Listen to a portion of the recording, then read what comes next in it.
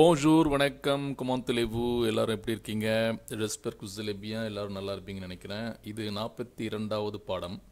ஒரு சின்ன பாடம். இது வந்து ஃபியூச்சர் சாம்பிளுங்கிற தலைப்பில் வருது. எதிர்கால வினை வடிவங்கள். ஃப்யூச்சர் டென்ஸ் ஃப்ரெஞ்சில் ஃப்யூச்சர் டென்ஸ் எப்படி பயன்படுத்துகிறாங்கன்றத இந்த படத்தில் நம்ம பார்க்கலாம். பொதுவாக ஆங்கிலத்தில் வந்து ஃப்யூச்சர் டென்ஸ் சொல்கிறதுக்கு வில்லுங்கிற சொல்லை வச்சு பயன்படுத்துவாங்க. இல்லை சில சமயம் ஷல்லு இல்லை வில்லு இந்த ரெண்டு சொல்லை வச்சு வாக்கியத்தை அமைப்பாங்க. I will come you will go இப்படி வில்லுங்கிற சொல்லை வச்சு நம்ம இங்கிலீஷில் ஃப்யூச்சர் டென்ஸை எதிர்காலத்தை நம்ம சொல்கிறோம் ஆனால் ஃப்ரெஞ்சில் அந்த மாதிரி தனி சொல் இல்லை. ஃப்ரெஞ்சு மொழியில் வந்து வெர்பு வினைச்சொல்லினுடைய இறுதி பகுதியை சிறு ஒரு சின்ன மாற்றத்துக்கு உட்படுத்தி அதை அந்த சொல்லை வந்து எதிர்கால சொல்லாக எதிர்காலத்தை குறிக்கக்கூடிய ஒரு சொல்லாக மாற்றிடுவாங்க உத அது எப்படின்னா இப்போ வினைச்சொல் இருக்குது அந்த வினைச்சொல்லினுடைய இறுதியில் எதிர்காலத்துக்கான ஒரு விகுதியை சேர்ப்பாங்க. வினைச்சொல் வந்து இங்கே இந்த இடத்துல நம்ம வந்து சொல்கிறது ஆஃபினிட்டிவ் டு வெர்ப் அப்படின்னு சொல்லுவாங்க. அந்த விகுதியை சொல்கிறதுக்கு தெர்மினேஷன் து ஃபியூச்சர். எதிர்காலத்துக்கான விகுதி. தெர்மினேஷன் து ஃபியூச்சர் அப்படின்னு சொல்லுவாங்க. இப்போ பாருங்கள் இந்த கட்டத்துக்குள்ளே நான் போட்டிருக்கிறத பாருங்கள் முடிஞ்ச வரைக்கும் எளிமையாக தான் நான் கொடுத்துருக்குறேன். உங்களுக்கு இப்போ நல்லா புரியணுன்றதுக்காக. இங்கே பாருங்கள் ஷ ஷன்னா நான் உங்களுக்கு தெரியும். அந்த அந்த வெர்பு கூட ஆஇ ஏஐயை சேர்க்கணும். அப்படி சேர்த்திங்கன்னா அந்த ழனுடைய அதாவது நான் சொல்லக்கூடிய அடுத்து வரக்கூடிய வினைச்சொல் வந்து எதிர்காலமாக மாறும். இதை இதை ஜஸ்ட் இதை பாருங்கள் அதுக்கு அடுத்தது வந்து உங்களுக்கு எடுத்துக்காட்டு சொல்லும்போது உங்களுக்கு இது நல்லா புரியும். ழவுக்கு ஆஇ டியூக்கு வெர்புக்கு கடைசியில் ஆஎஸ் சேர்க்கணும். இல் எல்லுக்கு அதாவது அவன் அவள். இதுக்கு வெர்பு கடைசியில் ஆ சேர்க்கணும் அதாவது ஏ நூனா நாங்கள். இதுக்கு வந்து வெர்பு கடைசியில் ஓஎன்எஸ் சேர்க்கணும். ஊனா நீங்கள். இது இந்த ஊக்கு வெர்பு கடைசியில் இஇசட் e, சேர்க்கணும். இல் எல் அதை வந்து பன்மையில் சொல்லணும். இந்த அவர்கள் ஆண்பால் அவர்கள் பெண்பால். இதுக்கு வெர்பு கடைசியில் ஓஎன்டே சேர்க்கணும். இது சேர்த்தோம்னாக்கா அந்த வெர்பு அந்த வினைச்சொல் வந்து எதிர்காலமாக மாறிடும். கீழே பாருங்கள் எடுத்துக்காட்டு பார்த்தீங்கன்னா உங்களுக்கு புரியும். விசித்தேனா சுற்றி பார்த்தல்னு அர்த்தம். டு விசிட் விசித்தரே பரி விசித்தேங்கிற அந்த சொல் முழுசாக வருது பாருங்கள் வினைச்சொல். கூடவே ஆஇ சேர்க்குறாங்க. அதாவது ஏஐ ஆங்கிலத்தில் ஏஐ ஃப்ரெஞ்சில் வந்து ஆஇன்னு சொல்லணும். இது சேர்க்கும்போது என்ன ஆகுது? Je விசித்திரே பரி நான் பாரிஸை சுற்றி பார்ப்பேன். எதிர்காலம். I will visit Paris I will visit பாரிஸுக்கு je விசித்திரே பரி அப்படின்னு சொல்லணும். அடுத்த எடுத்துக்காட்டு பாருங்க. அடுத்த வினைச்சொல் பாருங்க. ஒய்யாஜே ஒய்யாஜேன்னா பயணப்படுதல்னு அர்த்தம். இப்போ இந்த இடத்துல துய் ஒய்யாஜரா சேலு துய் வர்றதுனால ஒய்யாஜேங்கிற வினைச்சொல் கடைசியில் ஆஎஸ் சேர்க்குறோம். அந்த கட்ட கட்டத்தில் என்ன போட்டிருக்கோம் பாருங்கள் தியூக்கு ஆஎஸ் சேர்க்கணும். ஏஎஸ் அதாவது ஆங்கிலத்தில். இது சேர்க்கும்போது அந்த வினைச்சொல் எதிர்காலமாக மாறுது. துயிக்காக துயினா நீ. நீ தி ஒய்யாஜரா சேல்னா நீ தனியாக பயணப்படுகிறாயா அப்படின்னு அர்த்தம். துய் வரதுனால ஆயஸ் சேர்த்து அந்த வெர்பை நம்ம வினைச்சொல்லாக மாற்றிட்டோம் தி ஒய்யாஜரா சேல். அடுத்த வாக்கியம் பாருங்க பர்த்தீர். பர்த்தீர் என்றால் புறப்படுதல்னு அர்த்தம். நூ பர்த்தீரும் அவக்கான்ஸ் vacances ஃப்ரான்ஸு நாங்கள் ஃப்ரான்ஸுக்கு விடுமுறைக்கு புறப்படுவோம். நாங்கள் விடுமுறைக்காக ஃப்ரான்ஸுக்கு புறப்படுவோம்னு அர்த்தம். நூ பர்த்தீரும் நாங்கள் புறப்படுவோம்.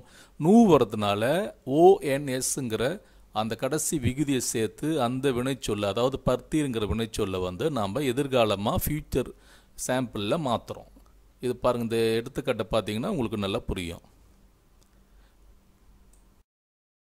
சார் இந்த பக்கத்தில் ஒரு வினைச்சொல் எடுத்து நம்ம புரிஞ்சுக்கிறதுக்காக ஒரே ஒரு வினைச்சொல் எடுத்து அது வந்து எல்லா ப்ரோனோன்லையும் எப்போ எப்படி மாறுதுன்றதை நம்ம பார்க்குறோம்.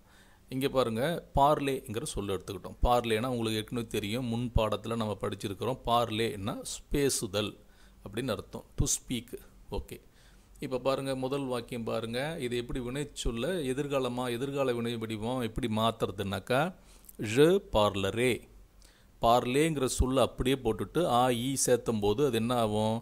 எதிர்காலமாக மாறிடுது. Je பார்லரே நான் பேசுவேன். துய் பார்லரா. நீ பேசுவாய். ஆ எஸ் சேர்க்கும்போது கடைசியில் அந்த வினைச்சொல் அப்படியே முழுக்க போட்டுட்டு ஆ எஸ் சேர்க்கும்போது அது எதிர்காலமாக மாறுது. நீங்கிற அந்த அந்த ப்ரோனோங்காக டி பார்லரா நீ பேசுவாய். இல் பார்லரா அவன் பேசுவான். எல் பார்லரா அவள் பேசுவாள். ஆ மட்டும் சேர்க்கணும். அதாவது ஏ மட்டும் சேர்க்கணும் கடைசியில். நூ பார்லரும் நாங்கள் பேசுவோம். ஓஎன்எஸ் சேர்க்கணும். ஊ பார்லரே நீங்கள் பேசுவீர்கள். ஏ இஸ்ஸத் சேர்த்திங்கனாக்கா இது வந்து எதிர்காலமாக ஃப்யூச்சர் டென்ஸாக மாறிடும். அடுத்தது கடைசியில் பன்மையில் சொல்கிறது இல் பார்லரும் அவர்கள் ஆண்பால் பேசுவார்கள் எல் பார்லரும் அவர்கள் பெண்பால் பேசுவார்கள். இந்த பக்கத்தில் கொஞ்சம் கவனமாக ஒரு ஒரு வாக்கியமாக நீங்கள் பார்த்தீங்கன்னா உங்களுக்கு எளிமையாக புரியும். எப்படி இந்த சொற்கள் அதாவது ஒரு வினைச்சொல் எப்படி ஃப்ரெஞ்சு மொழியில் எதிர்காலமாக மாற்றுறாங்கன்றது அதாவது ஃபியூச்சர் சாம்பிள் நல்லா கவனிக்கணும். இன்னொரு ஒரு வடிவம் இருக்குது அது கடைசியில் சொல்கிறேன் இப்போ இருக்கிறது ஃபியூச்சர் சாம்பிளில் எளிமையாக எப்படி மாற்றுறாங்கன்றதை நம்ம இதை பார்த்துக்கிறோம். நல்லது. இந்த பக்கத்தில் ஏர் அதாவது ஆர்இ ஆங்கிலத்தில் ஃப்ரெஞ்சில் ஏர் இந்த சொல்லில் முடியக்கூடிய வினைச்சொற்கள் எப்படி மாற்றுறதுன்றதை பார்க்கலாம். ஒன்றும் இல்லை ஏர் ஏல முடிகிற வினைச்சொற்களை கீழே பாருங்கள் ப்ராந்த்ரு எடுத்துக்காட்டு கொடுத்துருக்கேன் பாருங்கள் ப்ராந்த்ரு. ப்ராந்த்ருனாக்கா எடுத்தல் டு டேக்குன்னு அர்த்தம். இதில் பாருங்கள் ஏர் ஏல முடிஞ்சிருக்குது. கடைசி சொ எழுத்துக்கள் ஏர் ஏல இந்த வினைச்சொல் முடிஞ்சிருக்கு. அடுத்தது பாருங்கள் லீர். லீர் என்றால் படித்தல் டு டு ஸ்டடி டு ரீடுன்னு அர்த்தம். டு ரீடு லீர். படித்தல்.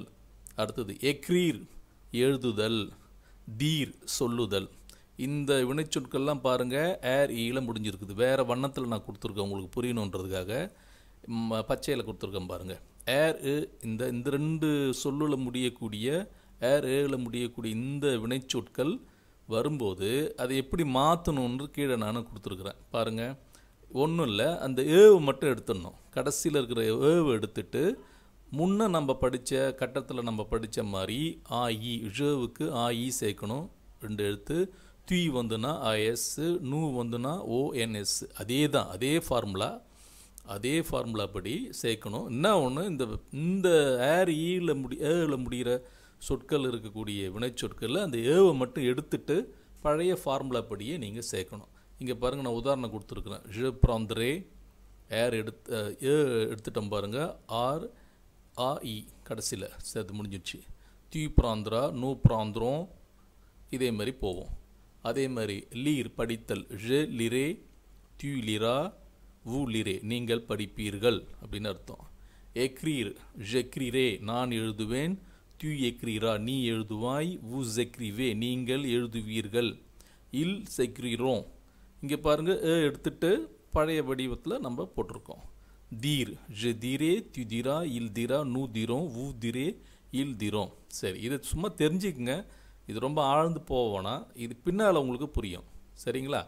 சரி அடுத்த பக்கத்துக்கு நம்ம போவோம். அதாவது இந்த ப பக்கத்தில் என்னென்னா ஏர் ஏ வந்த முடியக்கூடிய வினைச்சொற்களில் கடைசியில் இருக்கிற ஏவு மட்டும் எடுத்துட்டு பழையபடியே நாம் இருக்கக்கூடிய விகுதிகளை சேர்க்கணும். சேர்க்கும்போது அந்த சொல் எதிர்கால சொல்லாக மாறிடும். ஜஸ்ட் தெரிஞ்சுக்கோங்க. அடுத்த ப- பக்கத்தில் போகும்போது உங்களுக்கு மேலும் நல்லா புரியும். சரி. ஃப்ரெஞ்சில் வந்து வினைச்சொற்களை வந்து மொத்தம் மூன்று வகையாக பிரிப்பாங்க. முதல் இரண்டு வகை நம்ம முன்னே பார்த்துட்டோம். E, இ ஏர் அப்புறம் வந்து ஏர் இது ரெண்டுத்தில் முடிஞ்சதுன்னா எப்படி இருக்கணும்? இன்னொரு மூன்றாவது வகை வந்து இல்லை வெர்ப் இர்ரெகுலியே அப்படின்னு சொல்லுவாங்க. இர்ரெகுலர் வெர்ப்ஸ்னு ஆங்கிலத்தில் சொல்கிறது இது என்ன இது என்ன வெர்ப் இர்ரெகுலியேனா என்னென்னா ஒன்றும் இல்லை.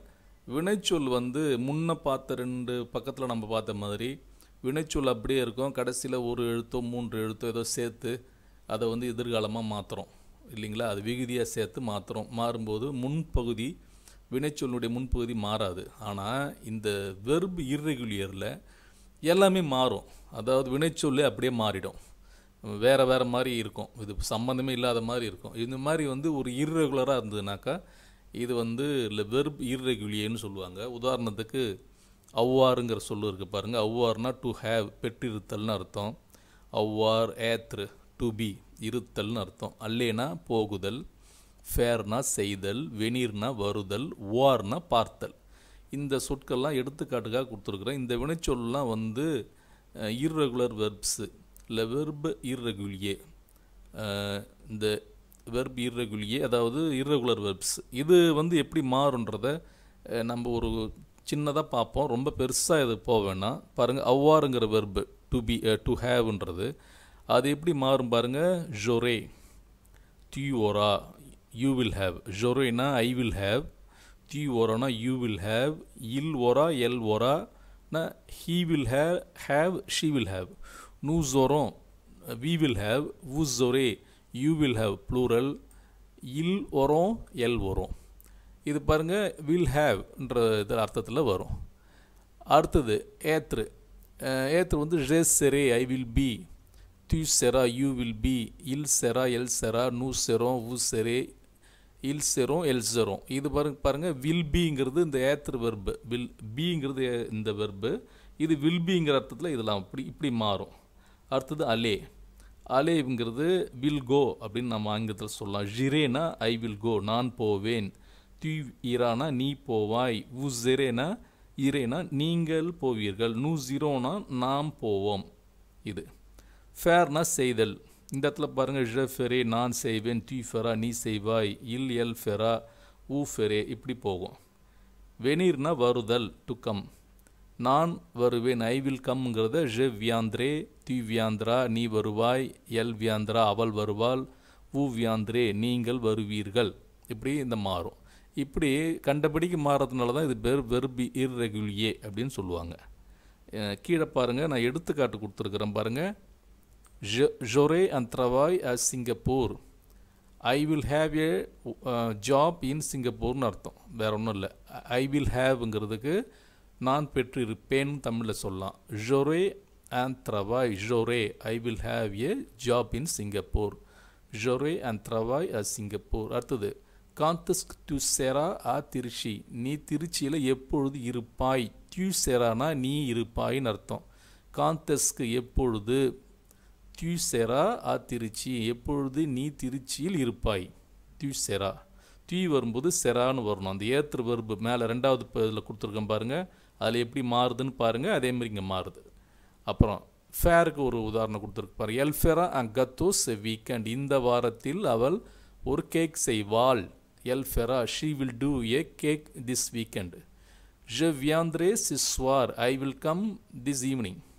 Today evening, okay. Je viendrai ce soir. Je viendrai-na நான் வருவேன் ce இன்று மாலையில் je viendrai நான் வருவேன் சரி இந்த பாடத்தில் இர்ரெகுலர் வெர்ப்ஸில் எப்படி எப்படிலாம் மாறுதுங்கிறத பார்த்துக்கோங்க இதெல்லாம் ஜஸ்ட் தெரிஞ்சுக்கங்க ரொம்ப ஆழ்ந்து போகணும் இது போக போக உங்களுக்கு புரியும்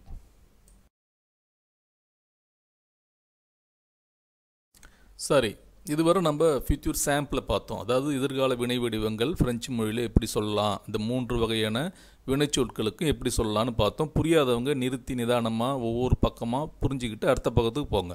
அப்போ தான் உங்களுக்கு எளிமையாக இருக்கும். இப்போ நான் சொல்கிறதும் புரியும்.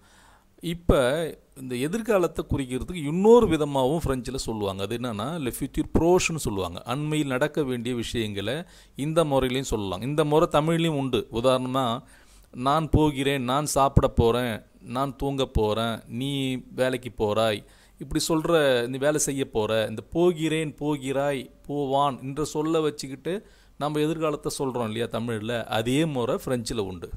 ஒன்றும் இல்லை. அல்லேங்கிறதுனா போகுதல்னு அர்த்தம். உங்களுக்கு இந்த கட்டத்துக்குள்ளே நான் கொடுத்துருக்கேன் பாருங்கள் அல்லேங்கிற சொல்லினுடைய வினைச்சொல்லுடைய கோஞ்சுகேஷன் கொடுத்துருக்குறேன். அதாவது வினை வடிவங்கள் கொடுத்துருக்குறேன்.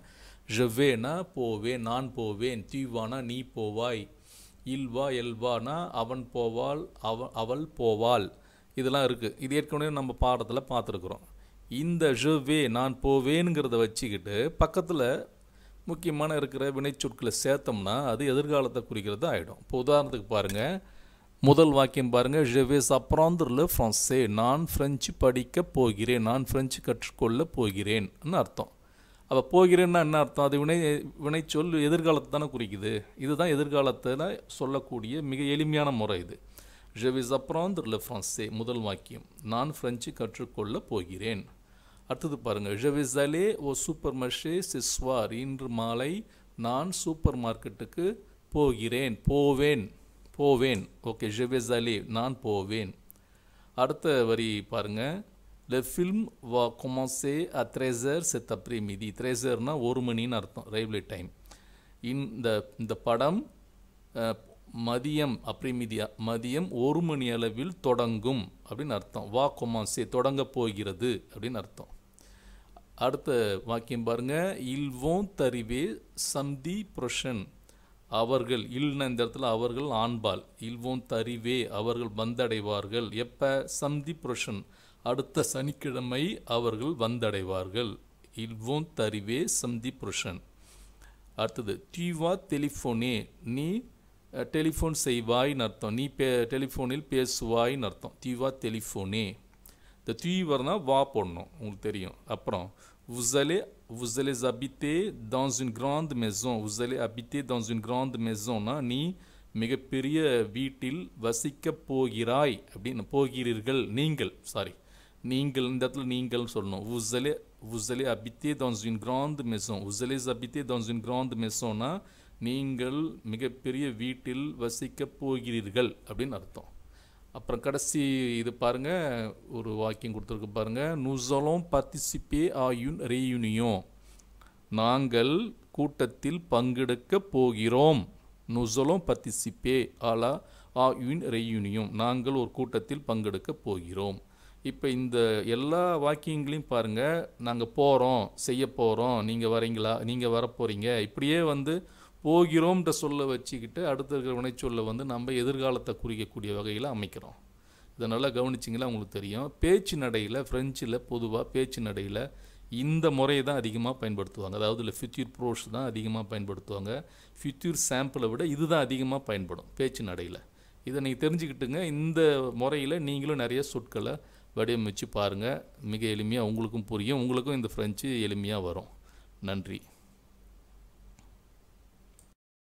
இந்த சின்ன பாடத்தோடு நிறைவடைகிறது. அதாவது இலக்கண குறிப்புகள் இலக்கணத்தை வந்து தமிழில் விளக்குறதுங்கிறது ரொம்ப கஷ்டமான விஷயம். என்னால் முடிஞ்ச வரைக்கும் நான் ஒரு எளிமைப்படுத்தி உங்களுக்கு கொடுத்துருக்கேன். உங்களுக்கு புரியும்னு நினைக்கிறேன். இந்த பாடம் உங்களுக்கு தொடர்பாக ஏதாவது சந்தேகம் இருந்ததுன்னா நீங்கள் வழக்கம் போல் Sembi one two ஜீரோன்ற one Sembi one two zero at Gmail dot com dot காம்ன்ற என்னுடைய மின்னஞ்சல் முகவரிக்கு நீங்கள் தெரிவிக்கலாம். உங்களுடைய கருத்துக்களை இந்த மின்னஞ்சல் முகவரியிலையும் தெரிவிக்கலாம். நன்றி வணக்கம்.